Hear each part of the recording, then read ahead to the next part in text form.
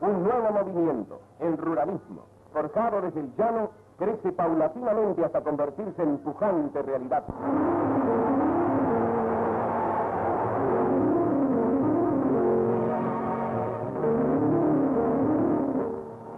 Creador y líder don Benito Nardone, picotazo, recibe el apoyo decidido de sus muchos partidarios.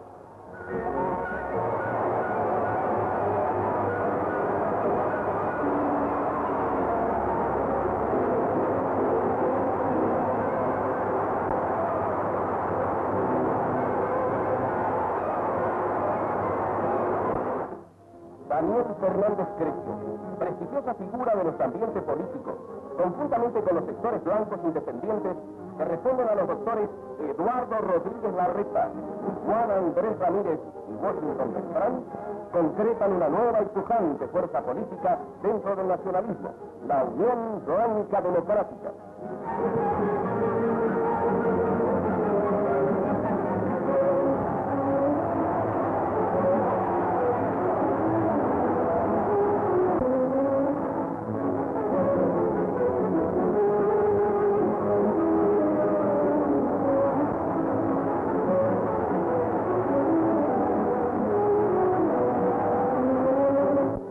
De noviembre de 1958, día de elecciones.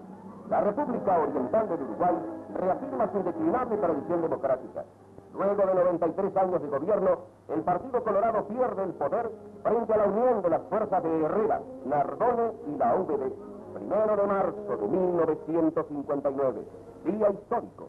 El Palacio Legislativo, gigante de mármol, orgullo de la ciudad, aguarda la llegada de los nuevos gobernantes don Benito Nardón.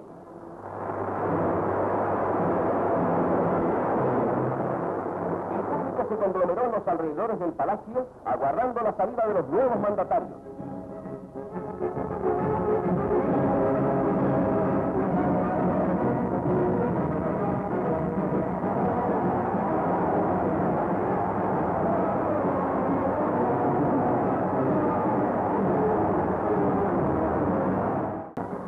La comitiva toma la avenida Braciado en dirección a la Casa de Gobierno, siempre con un marco de pueblo entusiasta y correcto.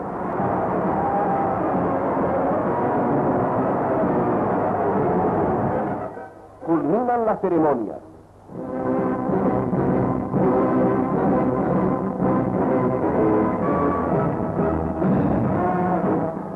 Diferentes formaciones aéreas surcan y estremecen el cielo de la patria.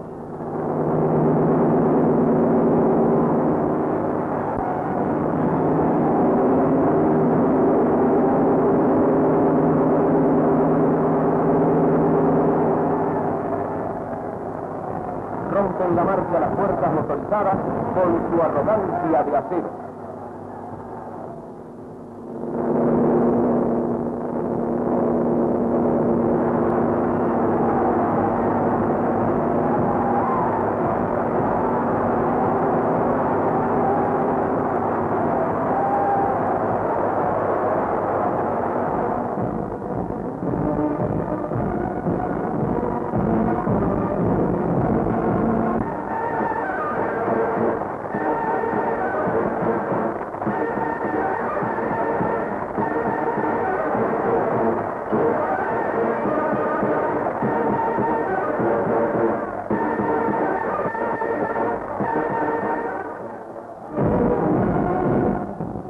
Marcial y preciso desfilan las escuelas naval y militar. Primero de marzo de 1959, jornada para la historia. El Uruguay, pequeña república de América, sigue su marcha, firme y decidida en el seguro camino del progreso y la libertad.